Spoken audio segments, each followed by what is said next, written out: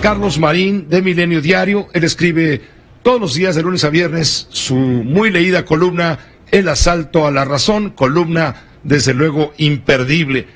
Eh, también, Carlos, un saludo muy cordial. Gracias por aceptar esta llamada a bote pronto.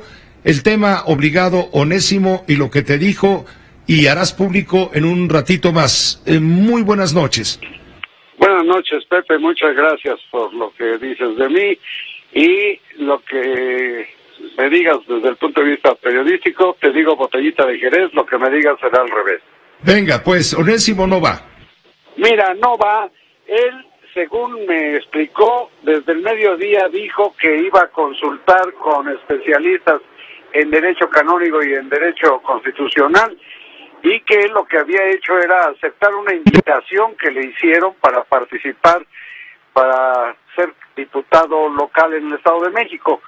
Y dice que pues ya lo vio y que desde luego prefiere, dije, dijo él, no cambiar por un plato de lentejas de una diputación de tres años su condición de obispo emérito, que sigue siendo lo de Catepec, él es obispo emérito y lo será hasta que se muera. Entonces ya lo, lo dijo y como es, bien sabemos, un personaje de tempestades, es un obispo tempestuoso, pues por lo pronto agitó el avispero, pateó el avispero y dice que su interés era porque le preocupa mucho el silencio generalizado del clero ante lo que sucede en México y el silencio de los políticos y la falta de líderes y que él quería en principio ser un pre un, prospecto de precandidato para ver si acaso aceptando la invitación que le hizo el partido este de Pedro Aces. de Pedro Aces y que fue en atención a eso que fue pero que dejó desde mediodía planteado que lo vería desde el punto de vista jurídico él es abogado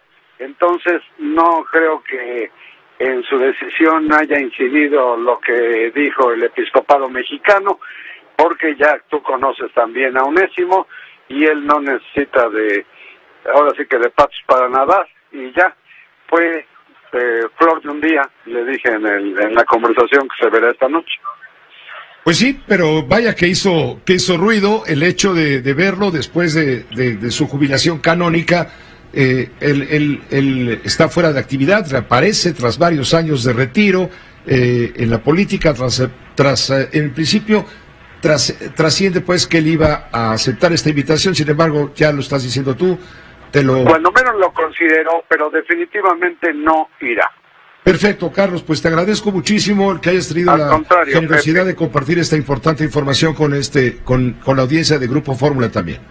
Lo que pasa es que parecía, porque yo te escucho diario, Pepe, creo que como con López Dóriga soy sus únicos, y sí, soy los únicos que los oye cuando tengo oportunidad y nadie más los escucha, entonces dije, pues parece que estaba tomando la nota como si de veras fuera a ser, y ya no fue. Fue fugaz, fugaz, eh, prospecto de precandidato, ni siquiera candidato, y ya por lo pronto, eh, pues mantendrá su ministerio y va bye a la política. Pues válgame Dios diría el clásico. y le pregunté si tenía miedo, a, si no temía el ridículo. Dice, no, pues yo sé que corría el riesgo, pero por mí que digan misa, a mí no me importa nada. Yo quise decir porque todo el mundo está callado, eso dice. Y que él, pues desde luego, no es de los que se quedan callados. Que va, al contrario, bien que lo conocemos. Gracias, Carlos Marín, como siempre, un fuerte abrazo. Gracias a ti, Pepe. Buenas tardes. Esta fue una producción de Grupo Fórmula. Encuentra más contenido como este en radioformula.mx.